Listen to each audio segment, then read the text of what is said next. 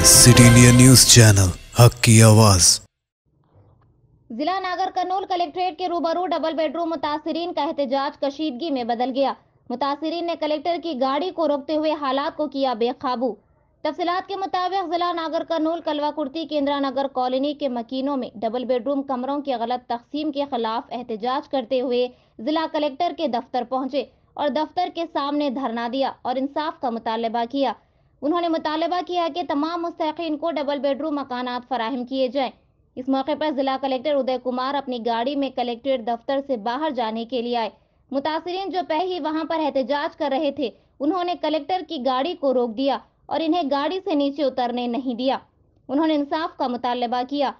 लेकिन सूरत हाल में कशीदगी उस वक्त बढ़ गई जब कलेक्टर ने समझाने के बावजूद जिद पर आ गए।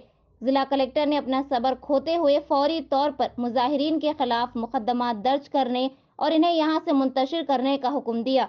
इसके साथ ही पुलिस ने मुतासरीन को रोका और कलेक्टर को इनके चैम्बर में भेज दिया। Bureau report City India news.